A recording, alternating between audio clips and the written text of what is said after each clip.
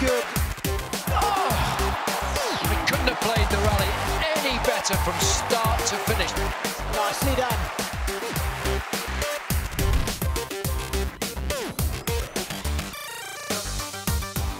Of course, uh, you are, we are traveling a lot. It's never never easy, you know, but uh, it's it's our life. We, we enjoy it, and uh, yeah, of course, it's nice to be then in France, to visit my parents. Sometimes it's also France, or to go to with friends in uh, in Paris doing normal things. I would like to say, but of course, it's a different life we have, and uh, but I think that's uh, that's good. I really really like it.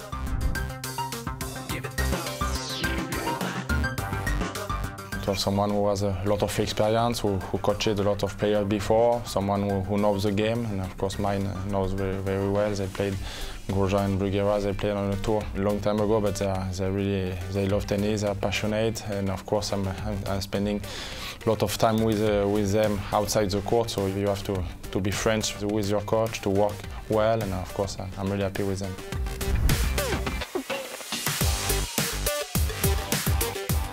I enjoy to play tennis and that's why I, I like to work, I like to, to play matches, trying to win, to do the best I can. So, but I think why I'm, I'm, I'm still playing is because I, I really love the game.